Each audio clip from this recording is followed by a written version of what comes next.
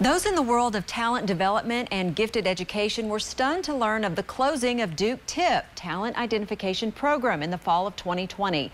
But the Center for Gifted Studies is already launching a new program to help fill the void. SCATS, Vampy, Super Saturdays, programming you've been hearing about for the past 40 years from the Center for Gifted Studies.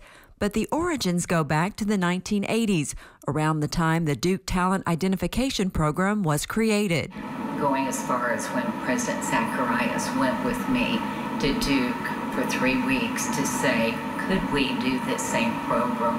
And we came back with the result. Of course, we could. The result? A summer camp for verbally and mathematically precocious youth. While the center continues to thrive, Duke TIP has ended, creating a talent identification void around the country.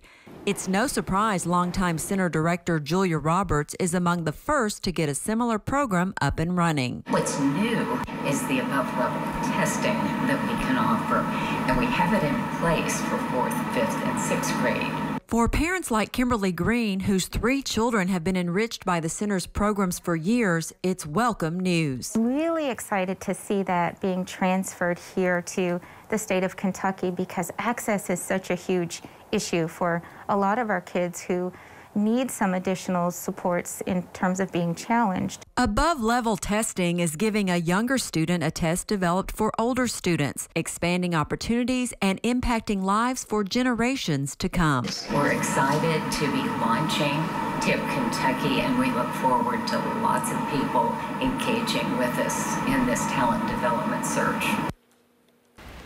For years, WKU hosted Duke Tip recognition ceremonies for seventh graders who had scored well on college entrance exams.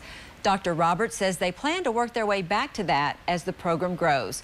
For information on testing, go to wku.edu forward slash gifted forward slash TIPKY. With this week's View from the Hill, I'm Amy Bingham.